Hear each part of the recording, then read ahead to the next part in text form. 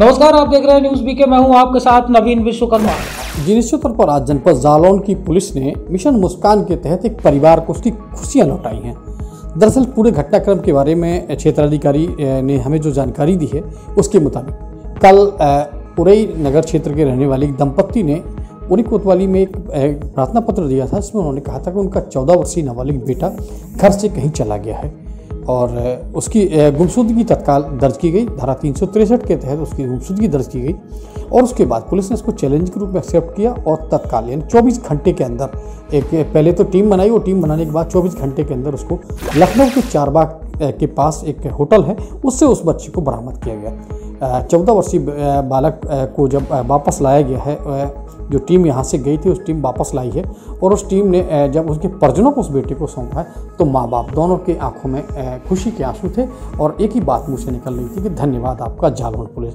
तो कहीं ना कहीं जनपद जालौन की पुलिस का आज एक सराहनीय काम है कि उन्होंने मिशन मुस्कान के तहत एक खोए हुए परिवार की खुशियाँ उनको वापस लौटाई हैं। थाना कोतवाली उरई में 19 जनवरी को गुमशुदगी दर्ज की गई थी। गुमशुदगी दर्ज होने के पश्चात उद्वाली उरई द्वारा तत्काल कार्रवाई करते हुए ऑपरेशन मुस्कान के तहत बच्चे को सकुशल लखनऊ से बरामद किया गया है। बच्चे को उसके परिजनों को सौंपा गया है और पुलिस द्वारा अन्य विधिक कार्रवाई की जा रही है।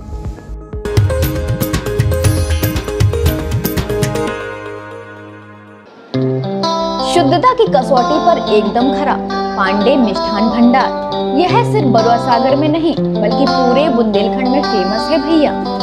सन 1963 से आज तक विश्वास और स्वाद का दूसरा नाम है पांडे मिष्ठान भंडार। नाम सुनकर मुँह में आ जाए पानी, यही तो है पांडे जी के रसगुल्ले की निशानी। तो फिर देर क्यों भैया? आइए और नए वर्ष पर अपना मुँह मीठा कीजिए। पांडे मिष्ठान भंडार, बस स्टैंड बरुआ सागर।